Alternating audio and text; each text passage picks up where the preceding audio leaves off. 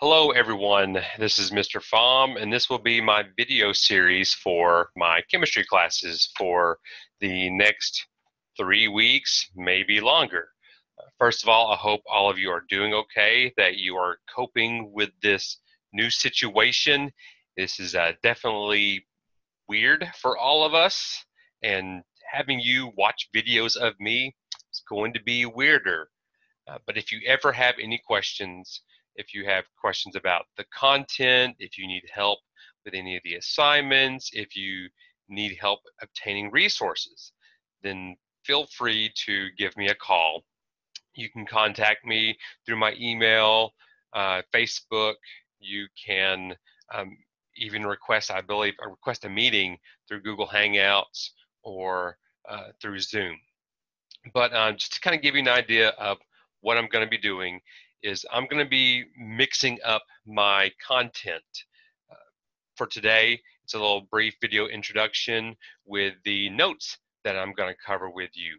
Um, I will do my notes through PowerPoints. I will uh, talk in my videos and uh, whatever I say is something that is, you know, could be useful in learning because that's really what we're trying to achieve is learning.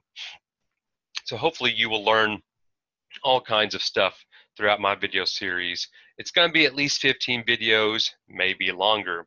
I don't know. But uh, I will also be using a whiteboard program on my tablet as well.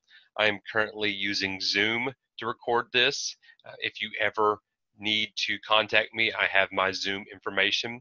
All my videos will be posted on YouTube, Facebook, uh, Google Drive, uh, and my Google uh, Classrooms. I think I already said that. But I'm going to put them everywhere. You will not be able to get away from my videos. They will be there. Uh, but hopefully this learning experience uh, will be entertaining to you. I don't know. Uh, I'm probably going to screw up a lot of times. This is definitely not something I'm used to doing, especially because I want to do everything perfect. So I'm going to go ahead and start the lesson today. And I'm going to start by um, showing you a picture. So I'm going to share my screen.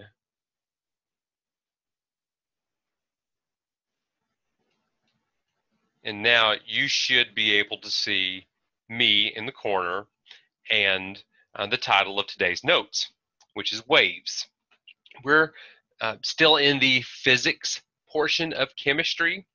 Uh, I'm not going to be doing any chemical reaction type stuff in the foreseeable future. Uh, for some of my chemistry students that are in physics, you pretty much know all this. This is actually a simplified version of what you learned in physics. But for the majority of you, you have not taken physics, so all of this will be new information. So I'm going to go ahead and start off with this picture. So what I have are four different pictures and you should be able to see my mouse pointer. So when you look at all these pictures, what do you see? What are the characteristics of these pictures? Yeah, I see people. That's not what I'm looking for. What I'm looking for is um, based upon the, uh, the title of our presentation, you know, what do you see? What are the characteristics of these pictures? I'll give you a moment to think about it. Mm-hmm. Yeah, you can hear me humming. All right, so here's what I see when I look at these pictures. I see movement. Sometimes the movement is fast and oh, little boy. I see this movement here. I see this is actually a very, very, very, very large amount of people in in China at a wave pool, and it is packed full of people. And then over here, this is a graduation. Hopefully, you seniors will be able to graduate, but uh, I see movement here. So in all four pictures, I see the characteristic of movement. But that movement actually, in this one, a little bit different. I put that picture in there because it's funny, but it, you know, it is a wave that has come in. But when I look at the movement, I see that the movement is uh, the same. It's repetitive. It I can see a direction to that movement. Even with Steve Buscemi here, if you don't know what that's from, that's from um, uh, not Adam Sandler movie. Uh, crap, Billy Madison. Anyway, he's uh, repeating the same motion over and over again. And when you look at the people here, you can see that it's also the same motion over and over again. And it doesn't wind up to the stage. Oh well. But what you are looking at are waves.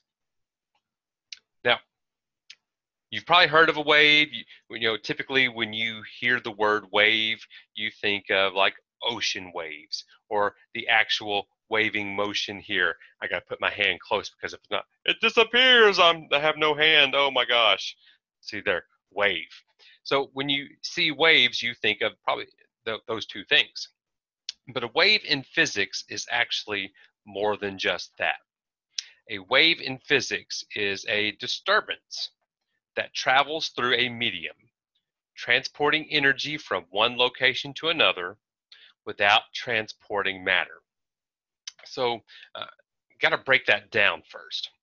A wave is a disturbance. So think of like any kind of disturbance. You're working all of a sudden, my kid comes in and she starts talking to me and she throws me off my my video game right now. Uh, when I say video game, I mean my game of making videos because I'm going to be awesome at this. Uh, she disturbed me. She did something that caused a change in my state. Or uh, I see a, a, a video, a movie, and one of the scenes disturbs me. Well, that means that I have this this typical state of mind or emotion, and then when I see that disturbing thing, it changes my viewpoint, it changes my feelings, my emotions, and now I'm not the same. Well, any kind of wave is a disturbance where you're going to have something that is at one state, but then the wave changes the state of that thing. So a wave is some kind of disturbance.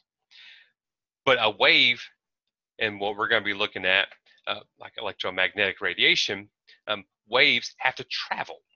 All waves move, whether you're doing this, whether you see the ocean wave, uh, or you see the, the people standing up then down when the wave, the stadium wave goes through, uh, you see that that wave is traveling through a medium, which I'll explain in a second. But that disturbance, like when someone comes in, my daughter comes in and she uh, disturbs me, well, it took energy for her to do that. If you look at the people doing the stadium wave going up, well, it takes energy to move up, then back down. And there's um, other types of waves I can just really show you the energy in that. But any kind of disturbance requires energy. And when a wave travels, it is essentially energy that is traveling through what we call a medium, but it has to go from one location to another. Typically, waves start one place, then they move towards another place. So we could say like it moves forwards. But when that wave moves through, it's going to move through something. Uh, it, but it's not going to take the thing it's moving through it's not going to take it with it. So uh, that thing that the wave is traveling through is what we call the medium. The medium is some type of substance, some type of material, or even space itself that the wave can move through. So I'm going to do a little wave here with my hand, and my hand right now is moving through space. It's moving through air, first of all, but it's also moving through that concept of space. Any wave that is moving has to travel through something, and that something is called the medium.